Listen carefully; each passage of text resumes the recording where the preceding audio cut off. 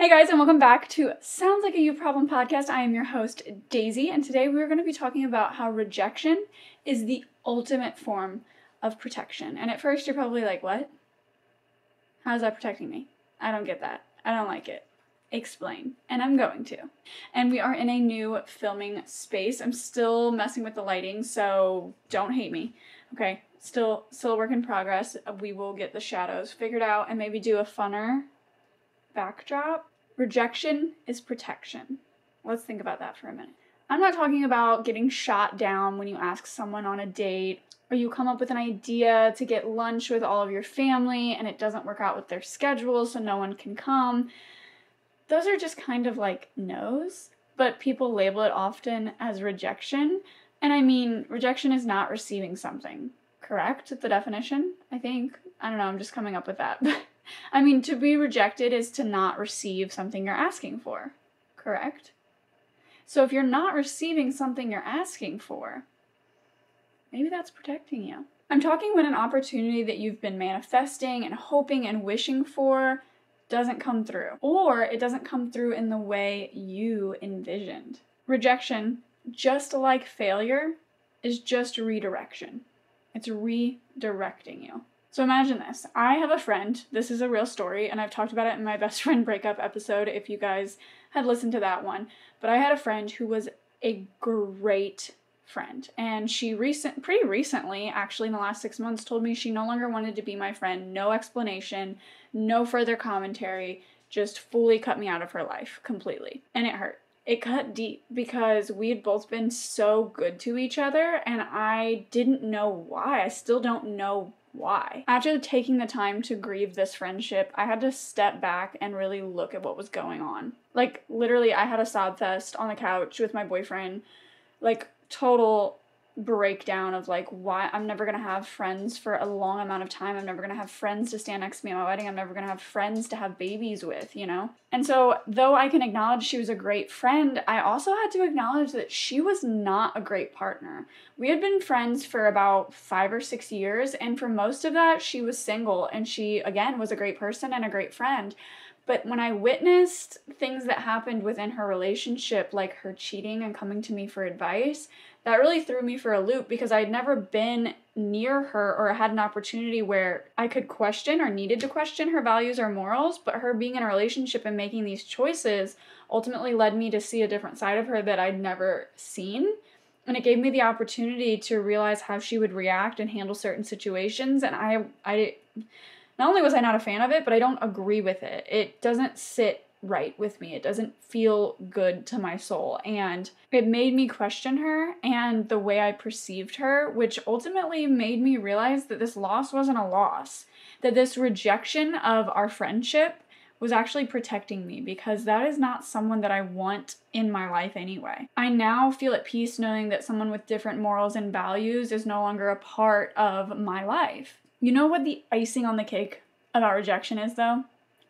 that there's better out there, that there's more coming.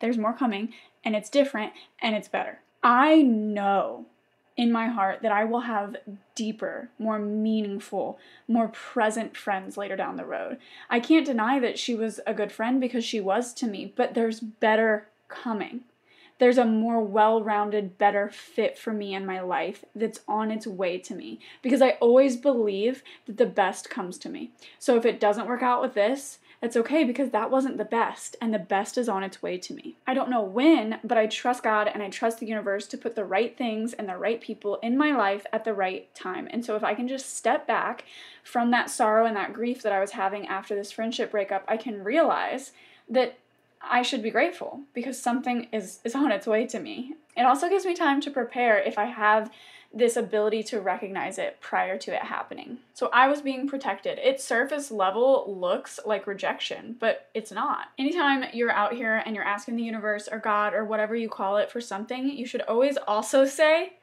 or something better. Because if you're dead stuck on hoping that this brand deal with this specific brand comes through and then it doesn't, but you didn't say or something better, then no other brand is going to come through. I heard someone talk about this in an example of their podcast and they said that they had been wanting a brand deal with Poppi, but they always say or something better because what if Coca Cola reached out to them? You know what I'm saying? Like Poppi is a very reputable brand, but it's very new. And Coca Cola has been around for years, forever forever. You know what I'm saying? So, like, or something better. Recently, a lot of my clientele when it comes to lashes and makeup has seemed to dwindle very quickly. And I don't know if it's because I'm just putting so much time, effort, and energy into TikTok, YouTube, and the podcast now, and less on advertising and marketing for the lash business. But it has dwindled. And i can look at it as a way that like i'm not receiving that income anymore or those clients or they're going somewhere else but i don't. I reframe it because that's not rejection. It's not something i'm not receiving. It's protecting me. And it ultimately is lining up for my life to be about content creation because that's my dream. That's my goal. That's what i'm working towards okay? So something better is on its way. So when i lose those clients it really just allows me to have more time to work on my passion, to work on my dream, to put the work in. And that's what I'm doing with that time. Again, I could do well and be really sad about that, but I don't because I know that or something better is coming. Another thing is that those things are not meant for you, and to receive new, better things, you have to make space physically and you know, spiritually, emotionally, all of those things. So if you don't have the space or capacity to receive something more or new or better, you're never going to get it. Right? Because energy. So get rid of it, which is another reason I'm cleaning my entire house out. I took six bags to Goodwill this morning. I am so proud of myself. I'm also rearranging my space, focusing on my goals, making sure that I'm really delving into what it is that I want out of 2024 and and taking the time to do that. So the next time you get rejected or you feel like you ask for something and it doesn't come through the way you envisioned, look at it at it really think about if it protected you from something because I guarantee that it did. That guy that you asked out and he rejected you, he's a manipulative narcissist.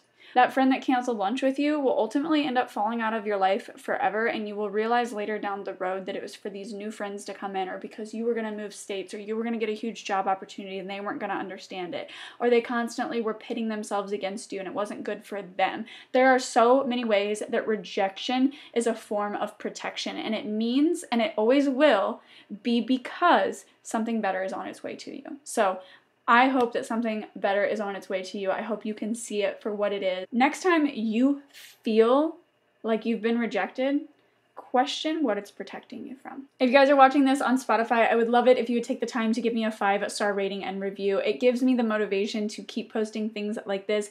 And if you're on YouTube, don't forget to hit that thumbs up button. It helps others see this video, which helps them to hear this message, which can be really beneficial for them and for me. It's a free way to support the channel. Thank you guys for being here. Thank you for watching this video. Subscribe and ring the bell so you don't miss the next one. And I will see you guys all in the next episode of Sounds Like a You Problem.